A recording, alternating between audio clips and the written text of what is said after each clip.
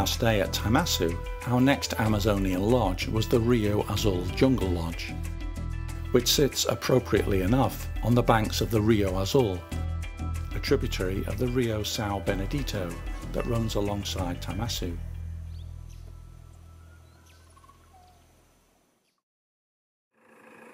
Before driving to Rio Azul, we spent a night at the Fazenda Anasia, a relatively new lodge in habitat that the owners are rewilding to attract birdlife and birders alike.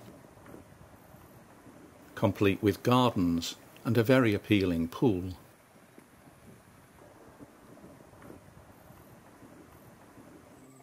Having unpacked, we explored beyond the lodge and stopped at a lake that revealed a good selection of species, including a pair of crimson crested woodpeckers. Firstly, the red headed male, and then the female, which has a black forehead and a broad white line below the eye and onto the neck.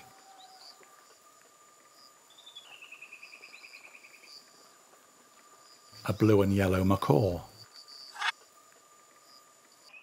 and a perched snail kite. With a noisy, but at the time hidden, point-tailed palm creeper calling in the background. The palm creeper was eventually picked out amongst the palm fronds on the other side of the lake. Although recognized as a type of Furnariid, they have no close relationships to any particular species.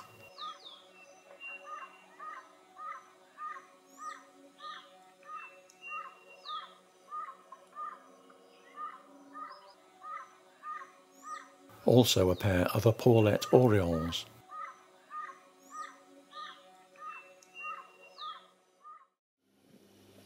Early the next morning, we drove east to an area near to the Rio Santa Helena. After dawn, there were plenty of parrots around, including a pair of red fan parrots. Their name comes from the erectile feathers on the head, which can be fanned into a mane.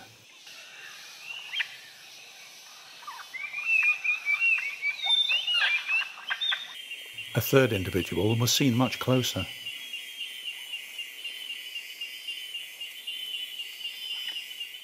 There was also a rather obscured chestnut-fronted macaw.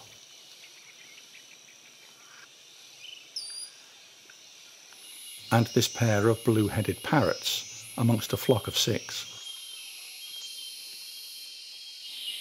Walking further down the track, we came across this ruddy pigeon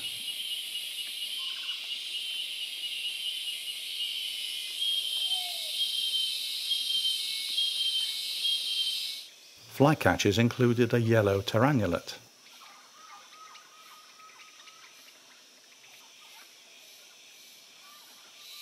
and a diminutive short-tailed pygmy tyrant.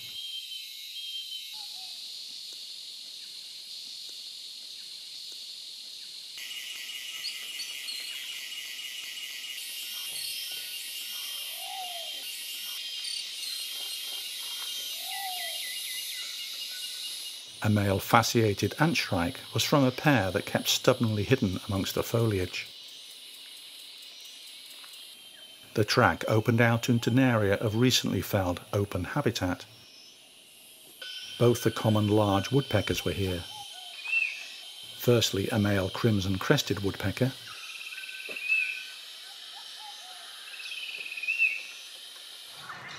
and then a female lineated woodpecker.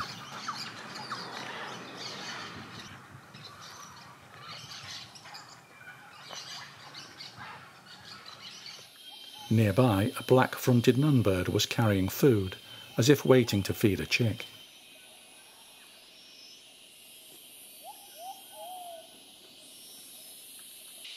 Overhead were plumbeous kites.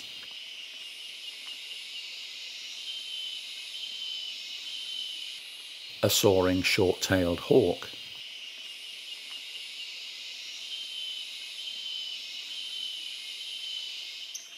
A magnificent king vulture.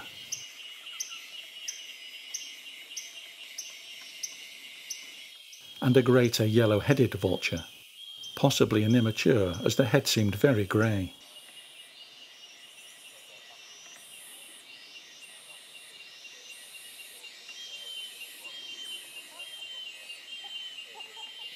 An excellent mammal discovery was this pair of Snethlage's marmoset, also known as Emilia's marmoset. Both names work as they are named after Emilie Snethlage, a German-born Brazilian scientist. They are endemic to central Brazil, and as was obvious here, thankfully seem quite well adapted to disturbed environments.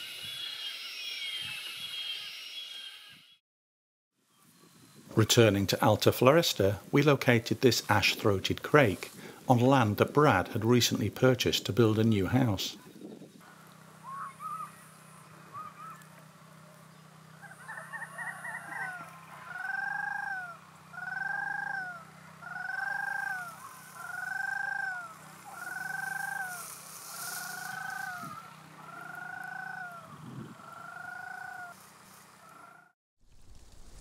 Back at the fazenda, a beautiful pair of confiding red and green macaws were feeding on a fruiting tree.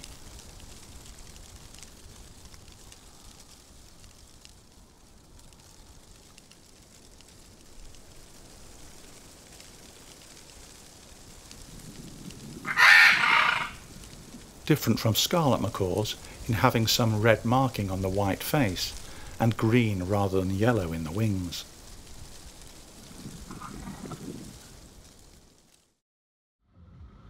After lunch we made our way to Rio Azul, requiring another crossing of the Teles Pires River.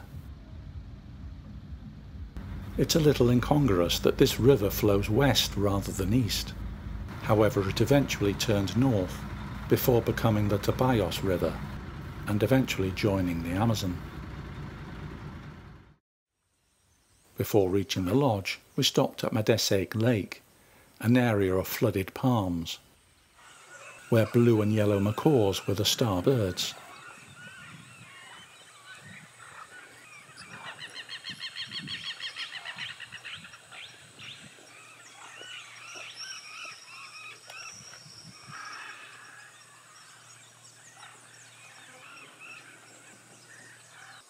They are often found around Mauritia palms, decapitated versions of which they use as nest sites.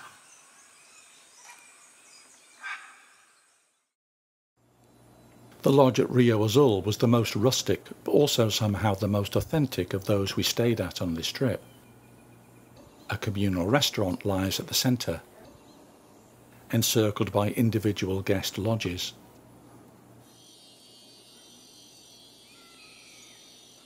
The grounds merge with the surrounding jungle, and it's a good place to scan from at dawn. A typical find was this eastern striolated puffbird.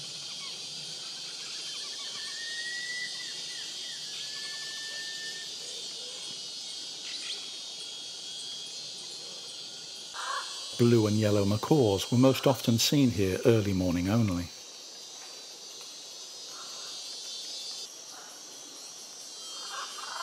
You can never tire of watching macaws.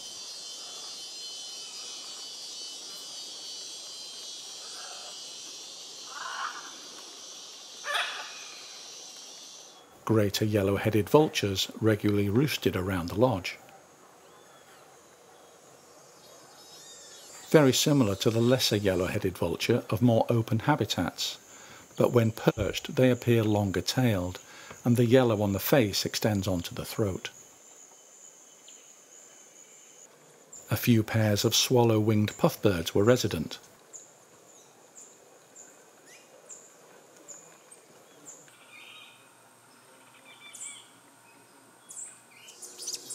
They were often seen on the ground, with some burrowing out nests in small embankments. Most often they were on favoured perches, scanning for insects.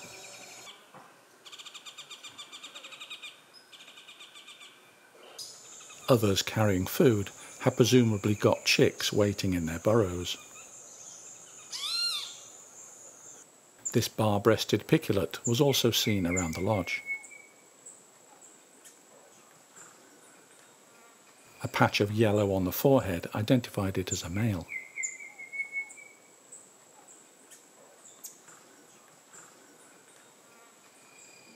Also a male yellow-tufted woodpecker. A slender-billed xenops.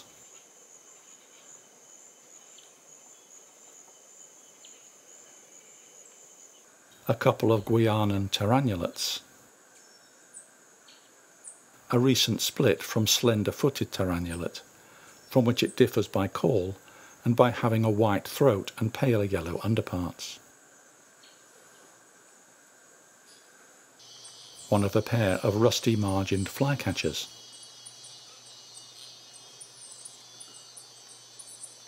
Plus a trio of scaled doves foraging on the lodge's vegetable patch. This is really a bird of tropical savanna, no doubt attracted here from the nearby ranches.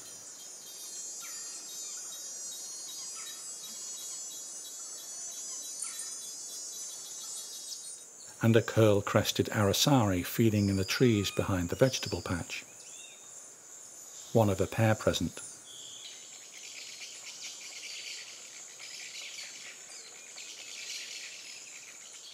Hummingbirds included a pair of black-throated mangoes,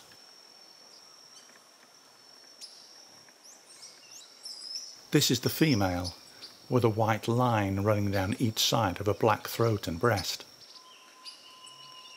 The male had an anomalous white feather on one wing. A flock of tanagers included this blue-necked tanager.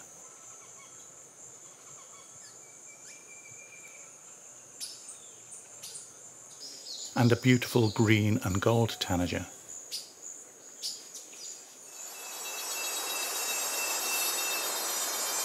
A blue-necked jacamar by the river was another quality bird found close to the lodge.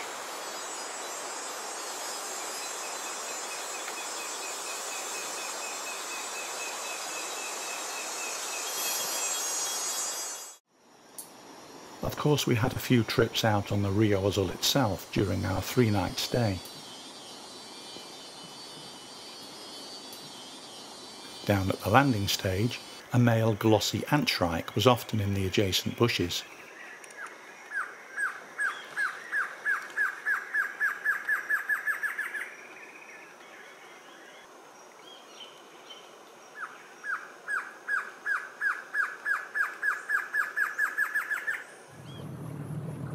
There was plenty to see cruising downstream of the lodge. Lovely white-banded swallows were fairly common along this stretch of the river. and included this juvenile.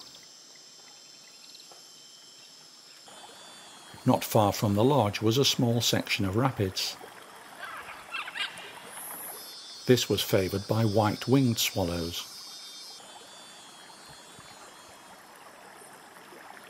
On the banks of the river a pair of fulvous crested tanagers.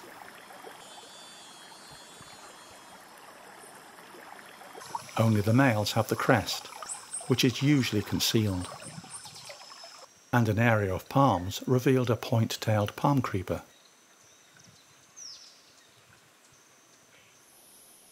It required an early morning visit to see one of the river's specialities.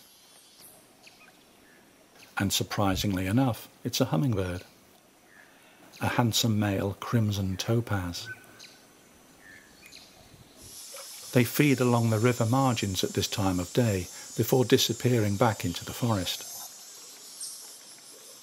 The female lacks the gaudiness of the male and is mostly green with chestnut outer tail feathers.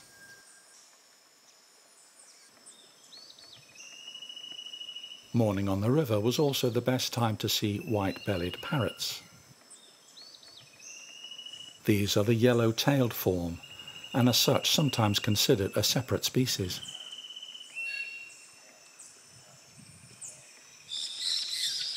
And more entertaining blue and yellow macaws.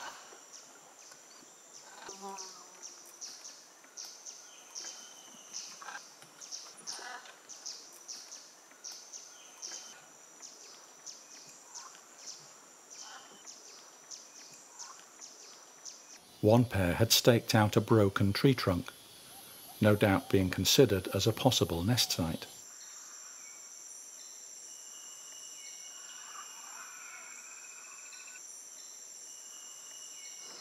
Further along was a female chestnut woodpecker.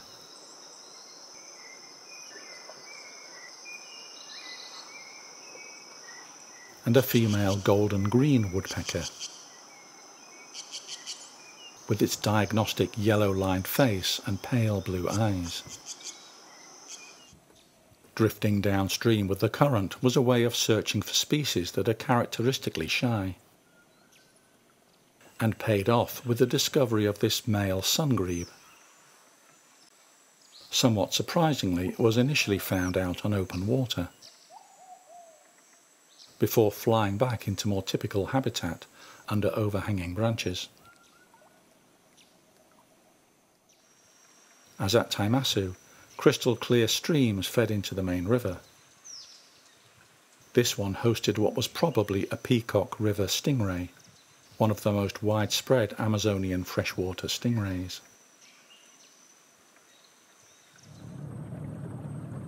The river also provides access to a number of birding trails.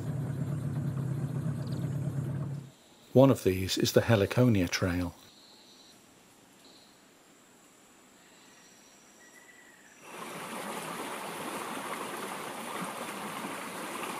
Here we soon came across a couple of white-cheeked spider monkeys. They are only found in the Brazilian Amazon basin.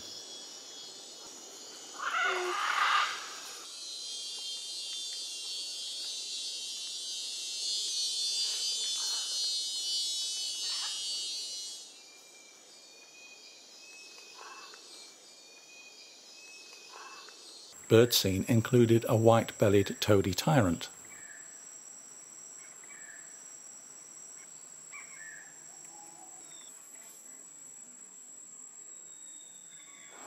A very mobile male band-tailed antbird.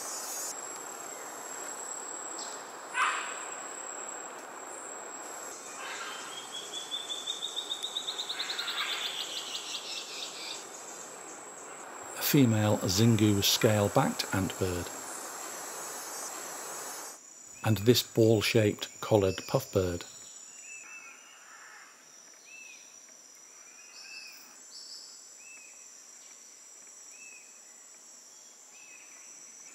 They nest in burrows, and this one had probably just completed a bout of digging, which accounted for the pronounced quiff.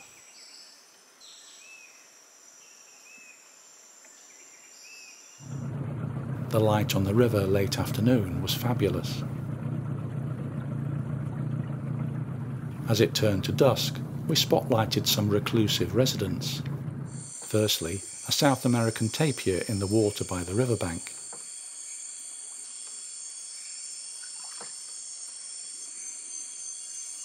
And then a Cuvier's dwarf caiman, the smallest crocodilian in the Americas. The Yatoba Trail can be accessed from the lodge grounds.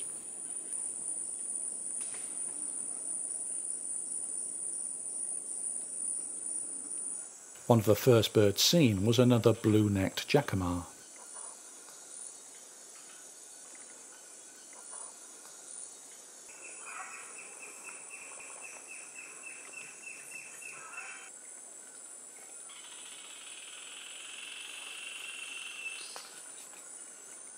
Its alternative name of blue-cheeked jacamar is probably more fitting, as there is a patch of blue on the side of the face rather than on the neck.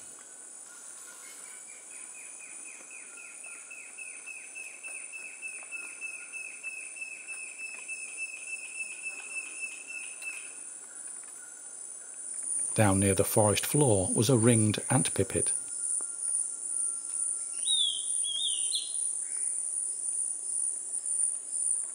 There are two species of ant pipit, very closely related to each other, and only recently considered to be a type of tyrant flycatcher.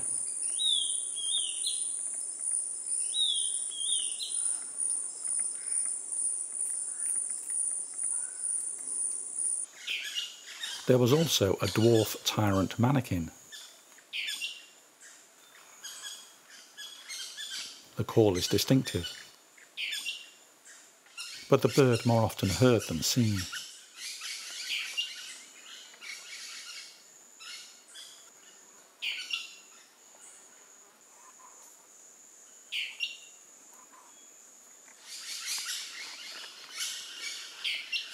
They are renowned canopy dwellers, so views like this are exceptional.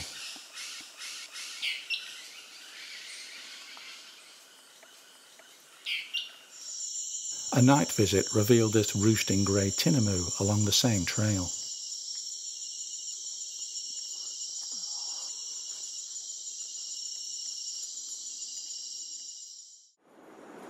Another trail from the lodge follows an old logging track.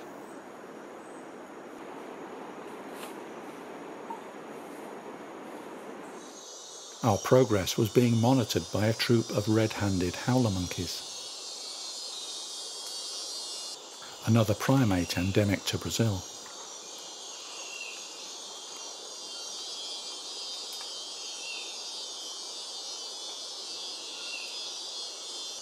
A greyish mourner was further along the trail.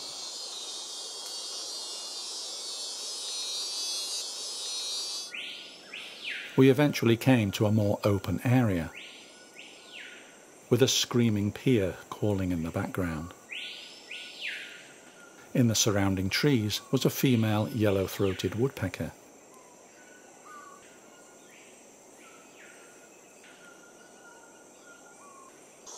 plus eye-level views of a rusty-breasted nunlet.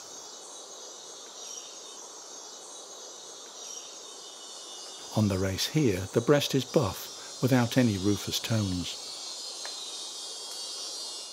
A pair of bronzy jacamars, always above us and therefore rather silhouetted.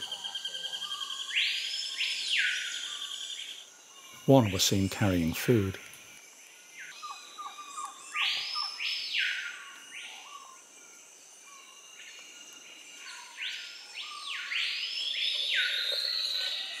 also a male Amazonian trogon. And a plush-crested jay.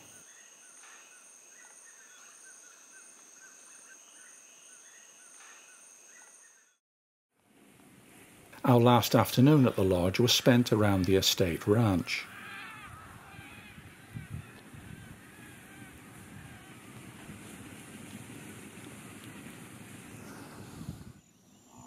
The open habitat here provided access to a different selection of species. A pair of masked yellowthroats were at a small marsh.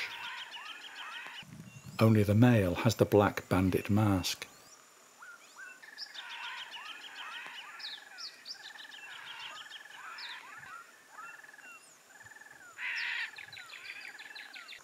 A striped cuckoo sitting out a rain shower.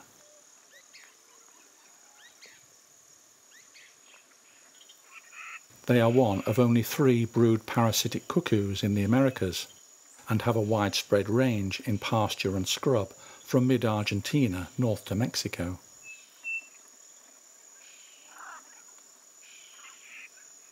A male chestnut-bellied seedfinch,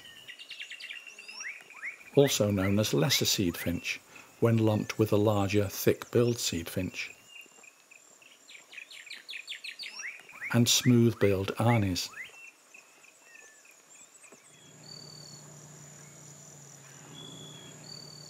grassland sparrows sang from fence posts. This is in effect the South American version of the grasshopper sparrow found in North America.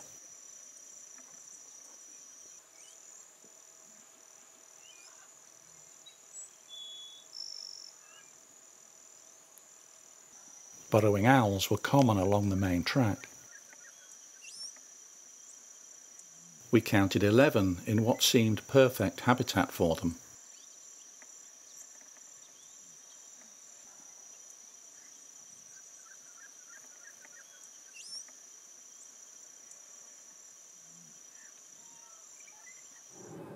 Perched more distantly was a white-tailed hawk. This individual is of the distinctive pale form.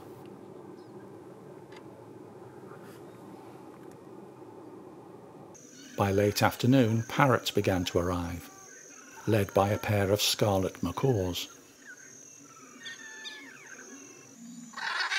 Then blue and yellow macaws.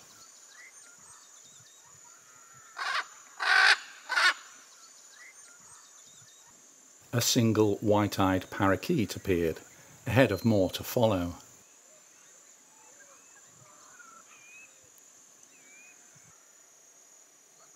They are one of the commonest and most widespread South American parrots, preferring forest edge and these open savanna-like environments.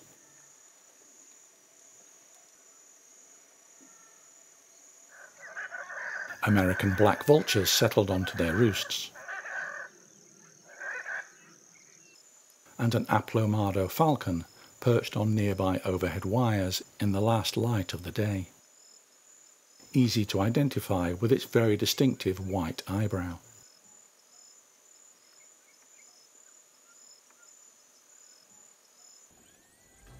As dusk preceded a beautiful sunset, this was the end of an excellent few days at Rio Azul.